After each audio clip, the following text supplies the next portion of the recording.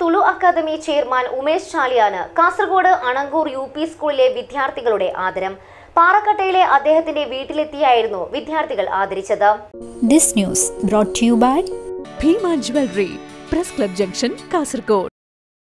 വിദ്യാഭ്യാസ വകുപ്പിന്റെ സാമൂഹിക വിദ്യാഭ്യാസ സംരക്ഷണ യജ്ഞത്തിന്റെ ഭാഗമായാണ് ആദരിക്കൽ ചടങ്ങ് സംഘടിപ്പിച്ചത്. ഓരോ സ്കൂളുകളിലെയും വിദ്യാർത്ഥികൾ സമൂഹത്തിലെ ഒരു പ്രമുഖ വ്യക്തിയുടെ വീട്ടിലെത്തി അദ്ദേഹത്തെ ആദരിക്കണമെന്നും സംവദിക്കണമെന്നും നിർദ്ദേശമുണ്ട്.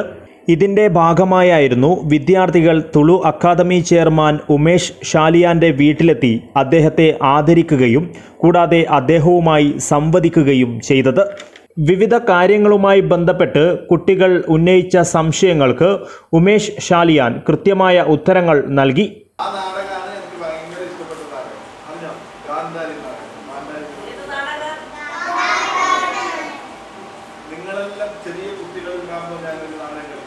തങ്ങളെ സമൂഹവുമായി ബന്ധപ്പെടുത്തുന്ന പരിപാടി കുട്ടികൾക്ക് വേറിട്ട അനുഭവമായി മാറി.